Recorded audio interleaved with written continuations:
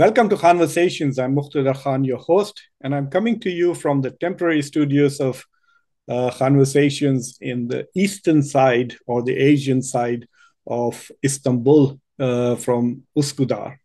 I'm here in Istanbul to attend. I mean, the conference is over. Uh, I attended a conference called Contemporary Muslim Thought.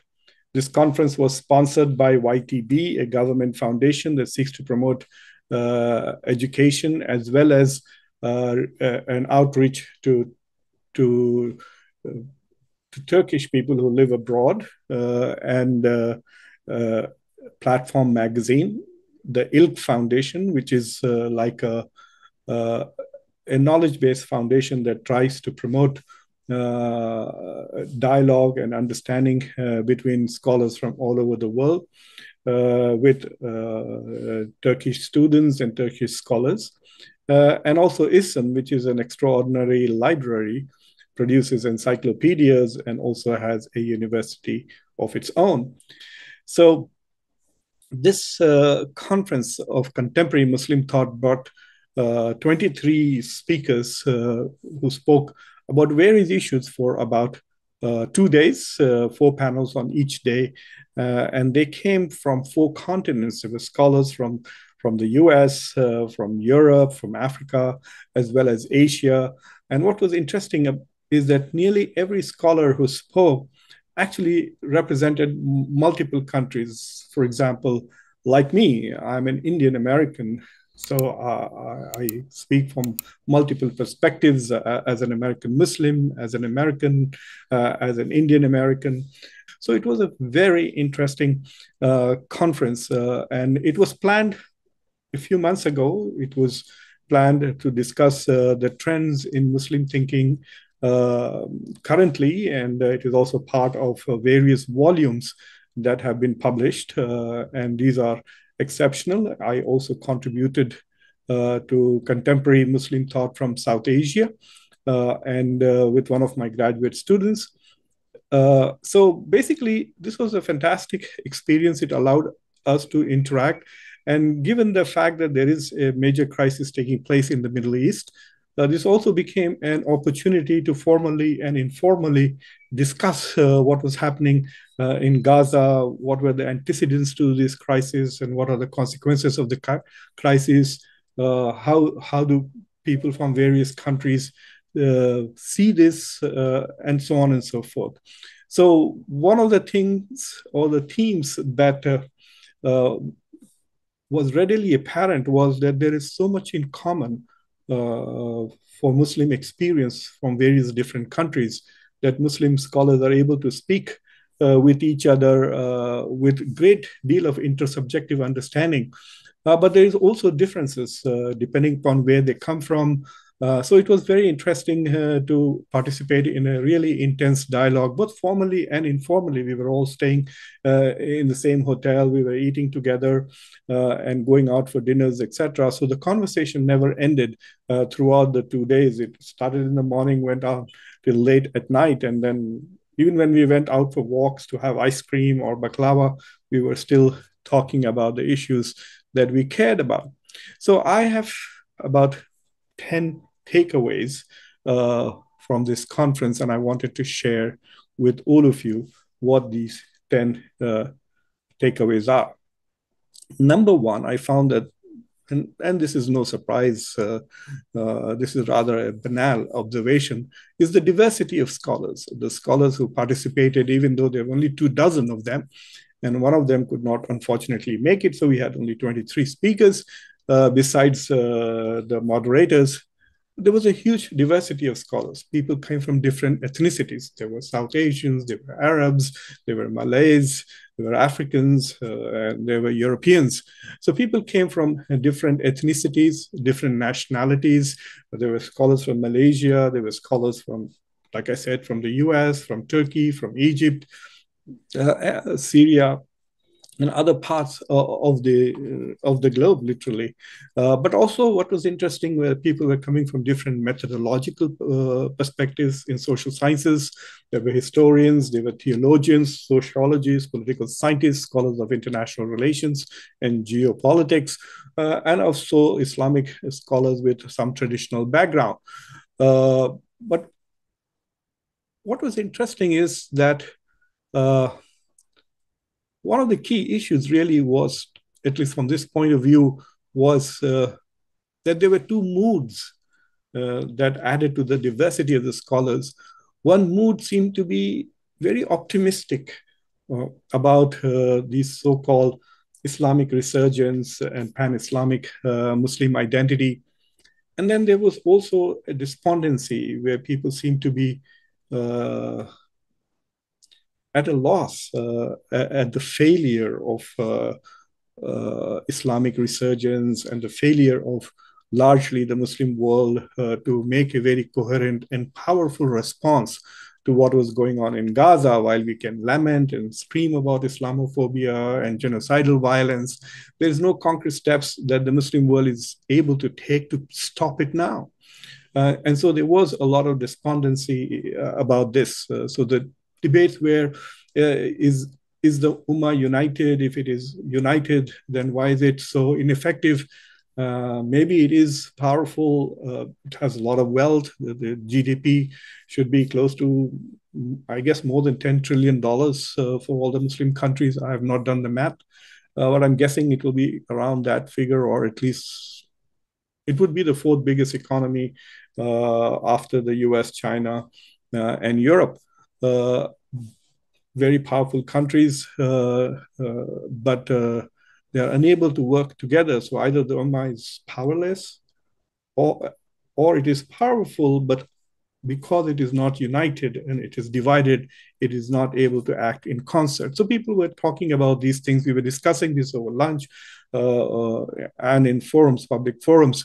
And it was also interesting to note that since people came from different countries, uh, the the, the culture from where they came uh, and their outlook uh, was clearly there was a huge range of ways in which uh, Muslims were looking at different political perspectives. So that was fascinating that the diversity among scholars in perspectives and methodologies and epistemologies and approaches. So that was my first approach uh, that uh, the diversity is, is, is essentially a strength, but it could also lead to different directions uh, in terms of focus and study. Uh, the second observation that to me was interesting, and this came out more in informal discussions than formal discussions, that there are many different perspectives uh, about what Hamas did on October 7th, Hamas's terrorist attack uh, on, on Israel that killed about 1,200 uh, of which many were civilians and women and children were also not spared. Uh, so while there were those who were who definitely recognized it as something that was wrong and horrible, uh, and also pointed out that it ultimately has resulted only in bringing more pain and misery and de- destruction to Palestinians. Uh, nearly 13,000 Palestinians have died, many of them children, over 5,000. The whole Gaza Strip is nearly destroyed. Civilian inst- institutions, infrastructure, refugee camps uh, have all suffered immensely as a result of what Hamas did. But then there are others who pointed out that uh, uh, look at the West Bank. This year has been one of the worst. Over 250 uh, Palestinians have been killed in the West Bank. There is no Hamas there. Uh, there is a steady loss of land. Israel continues to build settlements, illegal settlements, and basically steals uh, Palestinian land earmarked for uh, an independent Palestinian state. On top of that, Gaza has been, you know, uh, blockaded for 16 years or 15, 16 years. Uh, and so it has already been dehumanized. Uh, the citizens of Gaza have suffered so much uh, that they have been dehumanized through their suffering, and now we are trying to hold them up to such high moral standards, moral standards which the world is not willing to hold Israel to, but is demanding Hamas uh, from Hamas. So there were a lot of different perspectives about how people saw uh, whether Hamas did. Some people even argued that Hamas has successfully brought back the, the Palestinian uh, crisis uh, to the center of global politics as it was being ignored and marginalized because of the Ukraine war and the Abrahamic Accords and so on and so forth. So, so there was different perspectives on Hamas, and it was very interesting. that conversations were very rich, very frank, uh, and uh, and people, even when they disagreed with each other very profoundly, were quite respectful to each other. As I said, both in formal and informal discussions. Um, there were interesting observations made about India. This is my third uh, takeaway. Uh, and uh, to paraphrase one of the speakers, uh, he said he pointed out that India is both confused and confusing, and this presents a great dilemma to the Arab and the Muslim world because, given the the Hindu first policies of India's Bharatiya Janata Party and, and the posture that uh, Prime Minister Modi has adopted, uh, it is difficult to include India uh, as a member of the Muslim world, even though it has over 220 uh, million Muslims, the third biggest country with Muslim population. And because of that, it cannot be excluded. So the dilemmas for Muslims, uh, Muslim countries and groups such as OIC and others is we can't exclude India, but we at the moment we can't even include it. So so it's very confusing for for these nations on how to deal. So I found this particular take quite interesting uh, uh, because India keeps talking about its foreign policy as something which has strategic clarity that they're pursuing strategic autonomy, autonomy and national interest. Yet uh, students from other countries of Indian foreign policy uh, seem to think that India's foreign policy is confusing and and also perhaps reflects uh, some de degree of confusion uh, on the part of Indian thinking. Uh, one of the things that I notice, and this is my fourth observation, is the popularity of the decolonial perspective. Uh, decolonizing knowledge, uh, essentially trying to build authentic uh, perspective about the world, which is independent of the interests of the West, the language of the West, the narratives of the West. So the popularity of the decolonial perspective was interesting. Scholars from both um, uh, those who live in uh, and teach in the West, as well as those who live in post-colonial societies in the global South, uh, were leaning uh, very much towards uh, the, the decolonial perspectives. Uh, it also generates new forms of anti-Westernism when it comes to geopolitics, uh, uh, but it is also a rejection of Western epistemologies, uh, in particular neoliberalism as both racist and oppressive. Uh, and there's obviously very strong critique uh, of the West, Western forms of democracy and Western promotion of democracy. The fifth observation that I, I, I want to make is that it came from Iran. Um, and uh, it came as a bit of a surprise to me too. Uh, and this is something that uh, is one of the interesting things that I'm taking back as new learning for me is that among the people of Iran, there is not much support for Gaza. Uh, and the logic for that apparently is that because the public in Iran is currently opposed to the regime in Iran, they're opposed to the government. There obviously seems the the killing of Mahsa Amini. There have been continuously protests in many parts of Iran, especially in the Balochistan province. Uh, there is continuous rebellion sort of in that province. So there is opposition to government.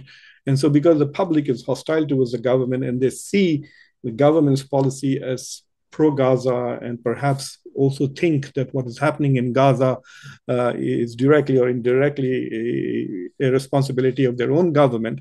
So they, it appears that uh, the Iranians are not feeling that sympathetic towards what is happening in Gaza because uh, their anger towards their own government uh, is dampening their enthusiasm for Palestine. So th that is something new uh, for a country that is the only one that celebrates uh, uh, Jerusalem Day and uh, has been such a strong supporter of uh, groups that fight Israel, like Hezbollah and Hamas, for for it for its public to be not so supportive of Gaza was to me a new insight. as expected, there is near universal disgust and anger at the United States and its uncritical support for what is being seen across the world, nearly everywhere, as Israel's genocidal vengeance war against the Palestinian people. Uh, while the Western narrative tries to cast it as a war between Israel and Hamas, it is not really Hamas that is on the receiving end. It's the ordinary people in Gaza who are being bombarded to death. Uh, that's why the civilian toll is so high, especially that of children and civilian infrastructure too. So, so there is palpable anger among people, nearly everybody uh, from anywhere in the world. There were so many participants, hundreds and hundreds of professors and graduate students and PhD students who attended the conference. Wherever you, whenever you spoke to them about it, there was total anger. I, I, I, I did not meet anybody uh, who seemed to have any sympathy or support for the position that the United States has been taking. Uh, they are just aghast and horrified at how much weapons and money the US is continuing to provide, even as it sees the genocidal violence that is being perpetrated by Israel uh, with the money and the weapons uh, that the US is providing. Uh, and as an adjunct to that, this is my seventh observation, is the hypocrisy of West on human rights. Now, a lot of people talked about how the West was hypocritical when it came to human rights uh, and even on freedom of speech. So, so the the way criticism of Israel and U.S. foreign policy, of especially criticism of Israel, is being curtailed uh, on campuses, in universities, in public forums. Uh, the recent, the most recent example is that when Bin Laden's letter that he wrote to the Americans way back uh, in 20 years, when it started becoming popular uh, on TikTok after it was picked up from The Guardian. The Guardian simply deleted it without providing an explanation as to why. Uh, and so there are these, there are several, several instances. Uh, the pressure on universities, and the targeting of students at Harvard and Columbia, uh, the, the banning of flags, of Palestinian flags, the, the position that the German government is taking that Israel is not violating any international norms, while European Union and the United Nations both are pointing out um, that uh, cutting of water, star- using starvation as a weapon, uh, destroying civilian infrastructure like hospitals and all of these constitute uh, crimes against uh, civilians and are violations of international law.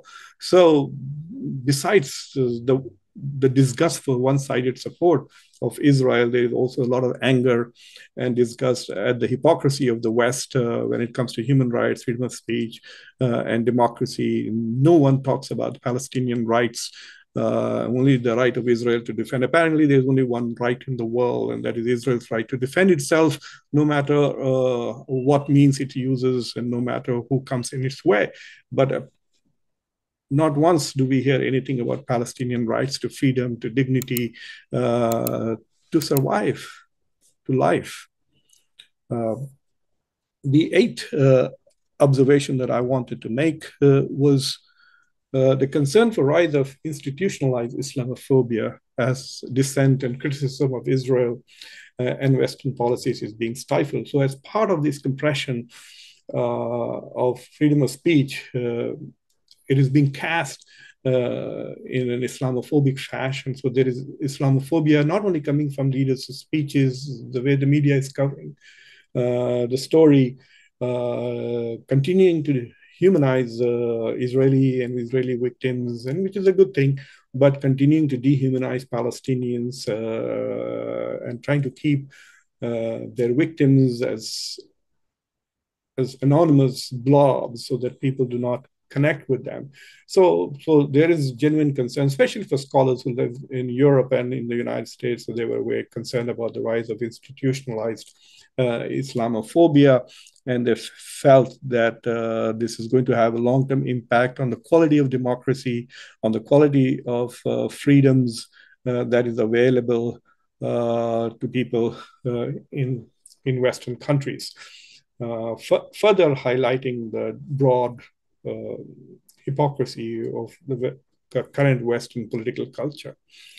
Uh, I also wanted to point out uh, and make an observation that, in spite of uh, uh, the decline of the Turkish lira. Right now, the US dollar is about 29 Turkish liras. the hospitality and the manner in which the conference was organized was peerless. Uh, broadly in the Muslim world, I have not seen such wonderful uh, manner in which uh, academic conferences are held. In fact, even in the West, while there are the conferences are very big, lots of scholars come, many associations, and even conferences that are hosted by universities, uh, the intellectual content is always very high, and debates are very intense, etc but uh, no, but the Turks really know how to treat uh, scholars like rock stars, uh, and uh,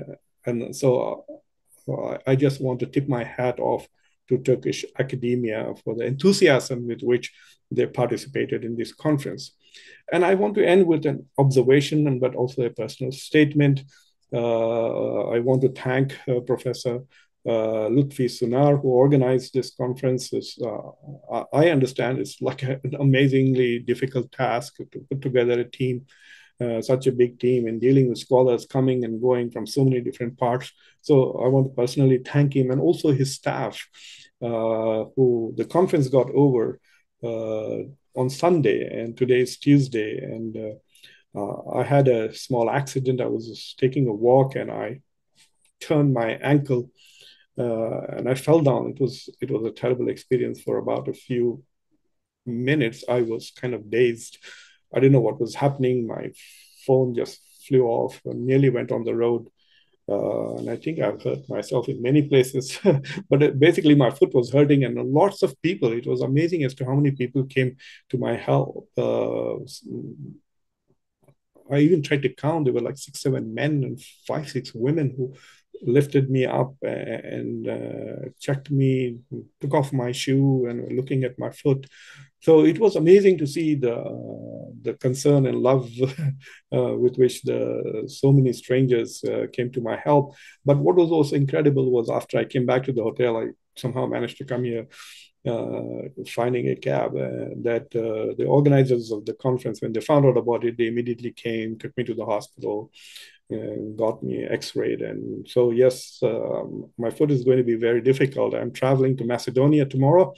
Uh, so it's going to be difficult and painful but it's not uh, i have not broken any bones. So i'm quite happy about it. But i'm very grateful for the conference organizers who've done such a fabulous job of taking care of us.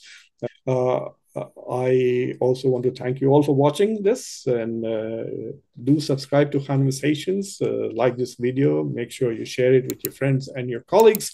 Uh, and until next time, uh, this is your host, Muqtedar Khan.